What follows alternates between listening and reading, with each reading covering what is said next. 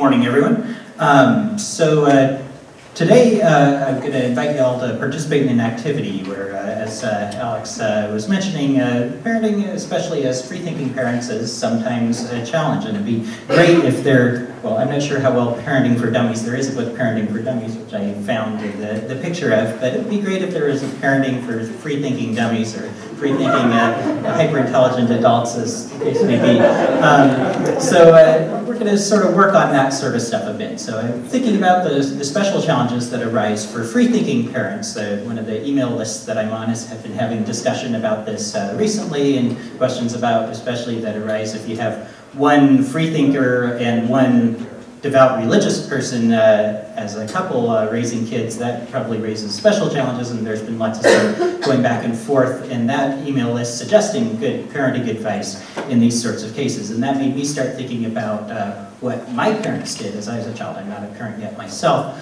Um, and uh, actually, I'd be curious to get a show of hands. My parents actually were free thinkers. How many other people in the audience here had uh, free thinking parents as well? So it's a pretty small minority in here, but, uh, but a good fraction of us still. Um, but so it seems like that's a different sort of thing. And I'm imagining the, the cases where my parents, like uh, when I was in elementary school, there were other kids in the school who wanted to go to a Bible camp. And so uh, I asked my parents if I could go too. And so that is the tough choice. Well, do you let your kid go to Bible camp if they want to go? And my parents ended up deciding, yes, he can go, but I imagine now they had their fingers crossed. Hopefully he won't get sucked in. Hopefully he won't get sucked in. So in the end, I'm not sure whether that was the right decision to uh, let me go. I didn't get sucked in, so, so it all worked out okay. Um, but that's one of the tough decisions that uh, you end up making as any sort of parent, but probably especially as free-thinking parents, uh, where you want to let your kids choose things for themselves, but you also don't want them to get sucked in. So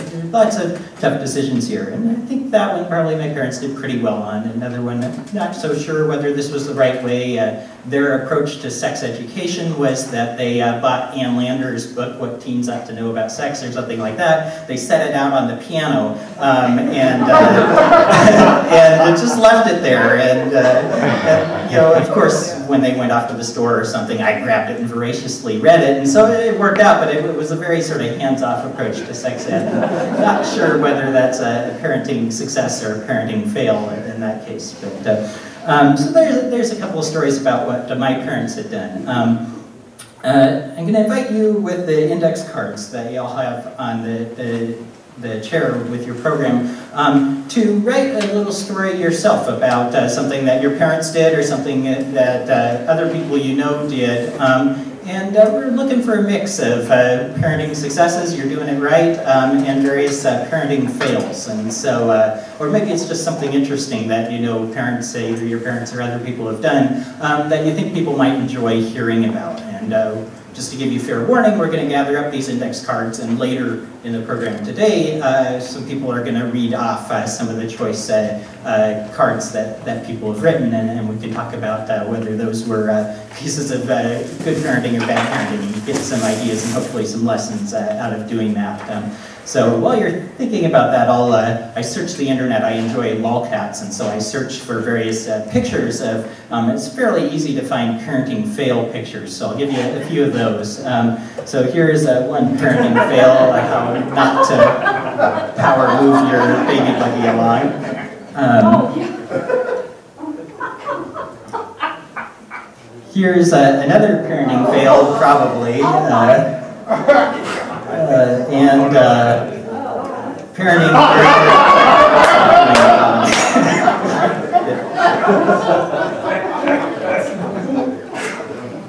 so there, those are a few parenting fails. I also search for, you know, they make the lolcats where they say doing whatever, you're actually doing it right. And strangely, it's hard to find those sorts of lolcats for parents. Maybe it's hard to get a, a, funny picture of people doing parenting right, so hopefully you'll come up with some phrases. Um, sort of in the middle, I have this one of, uh, apparently this uh, kitten, or this uh, cat discovered that she has kittens, and what I do now, and so that's a question we're, we're all sort of, will be struggling with at some point if we're parents, and so, um, and so what I'd like you to do is take a few moments now to write some stuff, some examples of what parents have done, and maybe that'll help out uh, new parents in this cat situation figure out uh, how they ought to go about parenting. So I'll give you all a moment to write stuff down, and then we'll gather up the cards, um, and then we'll move on to the next part of the program.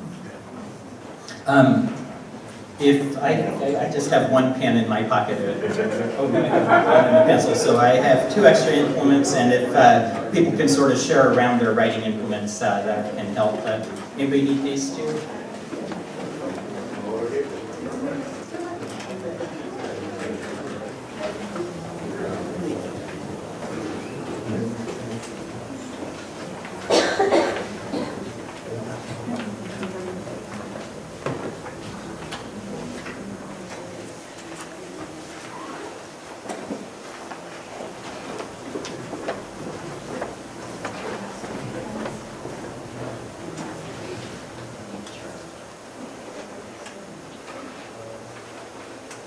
I'm